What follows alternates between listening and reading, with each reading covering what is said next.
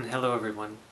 This is Link in the channel for Higher Self, and welcome to the Satsang with the Self video series. For these Higher Self videos, I bring through a message of spiritual guidance from the Higher Self consciousness. This consciousness exists everywhere and is creating us in this very moment. So when searching to find or create an experience of the higher self, we do not need to look outside ourselves. We do not need to rely on special techniques or formula. Instead, we simply need to return to the natural state of who we are. When we learn to remove our attention from the personal ego, we find that our experience as the universal consciousness begins to grow. The mind becomes quiet, our emotions settle down, and we begin to experience ourselves more as the universal awareness that exists throughout all space and all time. It's an awareness that is not bound by the physical body, nor is it restricted by the beliefs created within the personal mind. This experience of the higher self is available to everyone. It is simply the natural state of who we are, and as we are willing to surrender more of how we define ourselves, more of how we believe ourselves to be, and how we believe this world to be, we will awaken ourselves to this natural state. During this video for the channel Higher Self session, I will bring through a message that is based more for the beginner. Many of my videos deal with content that handles the energy centers and different higher perception experiences that occur within meditation. However, for this video, I would like to provide content that is available to each and every person. The higher self consciousness is within each of us. You do not need to gain certain knowledge to have this experience. Instead, it is more dependent upon our ability to surrender all conceptual beliefs. For when we are able to surrender who we think we are, we discover more of who we truly are. So I hope you enjoy today's channeling session. Many blessings.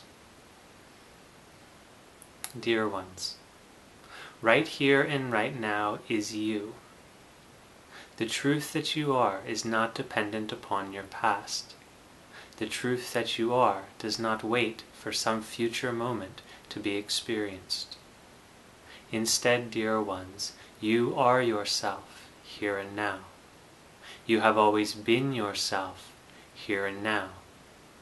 Yet you mistakenly believe that you are the subject of your thinking mind you mistakenly believe that you are only the physical form. You mistakenly believe that you have opinions and beliefs that create your experience of this world. Instead, dear one, you are the universal consciousness, and within this consciousness all forms are experienced, like waves on an ocean moving and changing in a continual flow the forms and shapes of this world are continually moving in and out of your field of perception. The pulsation of life that scientists have discovered at the atomic level exists right here and right now occurring within you. The pulsation of matter, the changing, the cause and effect relationship, all of these dualistic notions merely apply to the change of forms and shapes as they appear within the consciousness that you are. And yet you, dear ones, are the unchanging perception. You perceive all forms and all shapes existing within you. Yet your mind may believe that it is only the three-dimensional sights of this world.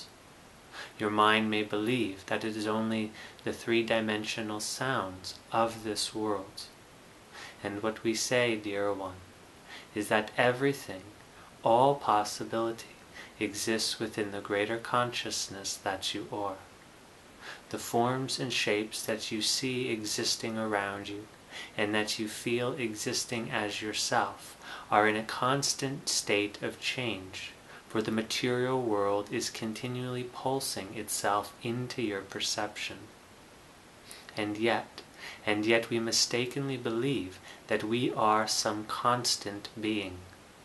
we mistakenly believe that the body is constant and that it houses that which we truly are.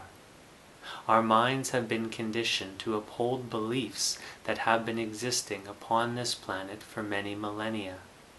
Our mind believes that the religions of the world hold the truth for us by teaching us concepts that may seem foreign to our own immediate experience.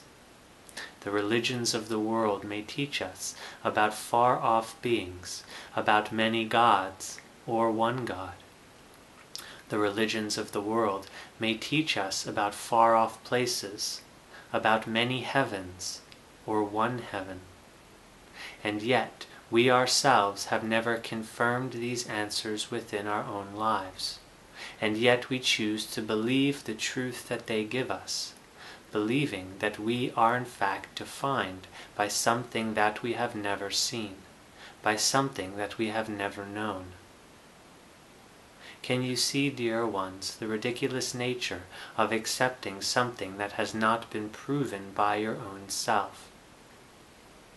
Can you see, dear one, the fallacy of religious and spiritual systems that base themselves off of some future knowledge, off of some future experience that has never at all been proven within one's own life?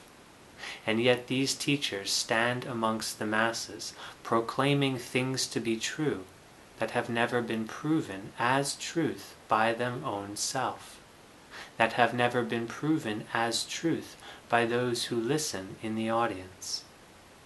That is why, dear ones, we do not speak of religion. That is why we do not present to you philosophical concepts, further containing your ability to experience yourself within a limited system of belief. Instead, we teach you more about who you are and about what life is. We bring into your awareness the pulsation of material worlds, the rhythm and vibration of the different frequencies of light, the rhythm and vibration of the different frequencies of sound, the heartbeat, the on again, off again rhythm within all life. It is noticeable within your body, within the beating of your heart, within the rhythm of your breath. It is visible within the cells of your being, moving and pulsating. It is visible within the atoms of this world, pulsing in and out. Can you understand, dear one, that what we share with you today is evidence that the physical world is temporary, that the physical world is merely a pulsation occurring within your awareness, and yet your awareness remains constant, constant to observe the pulsing of light in and out, constant throughout the process of observing the change of sound in and out, constant of feeling the molecular structure of your body pulsing in and out.